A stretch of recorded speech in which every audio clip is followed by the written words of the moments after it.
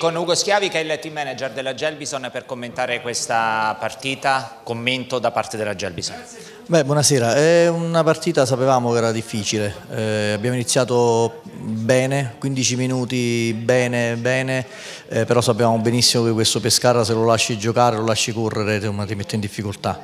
Eh, siamo riusciti a riaddrizzarla nel corso del secondo tempo, poi purtroppo era, mi avviso, una partita ben combattuta da entrambe le, le, squadre, infatti i gol che sono arrivati su calci piazzati confermano il fatto che le squadre si sono più o meno equivalse, certo il, il Pescara è una squadra che non si discute, una squadra eh, che è ben messa in campo, un altro blasone, un altro, un altro portafoglio quello del Pescara, quindi, eh, però ci credevamo almeno in un punto perché valeva sicuramente l'oro per la salvezza. Il, senta, il vostro allenatore era squalificato oggi, c'era il vice in panchina che è stato espulso all'intervallo, che cosa è successo? No, nulla, questo mi confermava adesso proprio l'arbitro a consegna dei documenti, nulla di grave, nulla di, eh, è stato tutto nella norma, nel senso che non è stato offeso l'arbitro, però una protesta un po' eh, ripetuta per i tre minuti di recupero del primo tempo che poi hanno causato il vantaggio del Pescara, tutto qui. Ci sono stati diciamo, gli infortuni di Vergani, di Cragnelutti e quindi il direttore di gara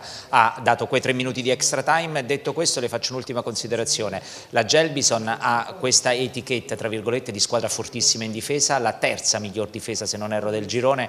quanto vi ha fatto soffrire l'attacco del Pescara, soprattutto il lavoro di Raffià da mezzala? Tanto, uh, e sicuramente noi abbiamo sofferto anche nei, nei, nei inserimenti di, delle due mezzale, ma soprattutto eh,